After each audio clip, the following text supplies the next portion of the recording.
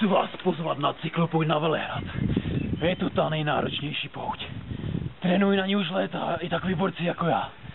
S tím mají stále problém. Trochu života do toho šlapání, mladíčku.